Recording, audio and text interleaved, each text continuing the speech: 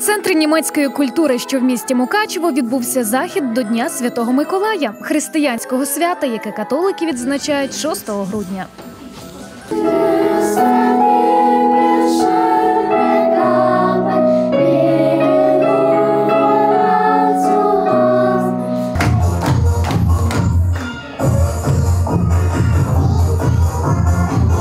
До заходу малеча ретельно готувалася. Зустрічали святого Миколая віршами, танцями та християнськими піснями.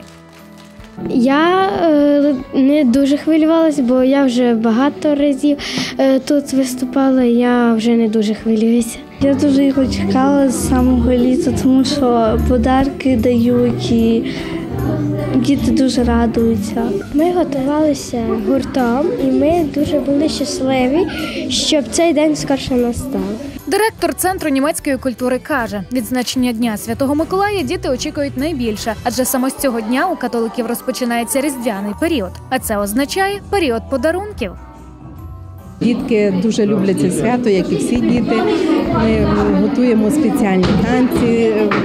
Це така тематика німецька і українська, дуже гарні пісеньки і танці. Всі люблять дуже люблять ходити сюди, займатися, танцюють, співають. Е, Незабаром у нас Різдво, потім ще новорічний вечір. Е, Зимових свят вистачає.